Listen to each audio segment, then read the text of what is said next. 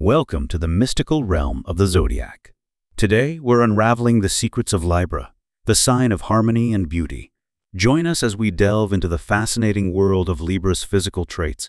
Born between September 23rd and October 22nd, Librans are celebrated for their equilibrium and aesthetic appeal. Unlike other signs, Libra is uniquely represented not by a creature, but by an inanimate object, the scales, echoing the equal length of day and night during its inception. Governed by Venus, the planet of beauty and love, Librans are endowed with an innate charm and grace. Their element, air, signifies a dynamic and ever-changing nature, much like the gentle yet persistent wind. In the physical realm, Librans are known for their well-proportioned and harmonious features. They often possess a high forehead, a distinctive bow-shaped mouth, and hair that embodies the whimsical nature of curls or waves.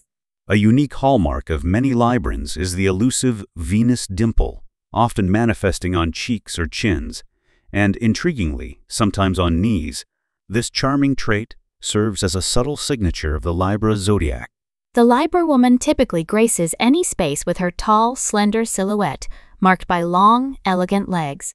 In parallel, the Libra man stands tall, his posture a reflection of balance and attractiveness, often perceived as flirtatious yet endearing.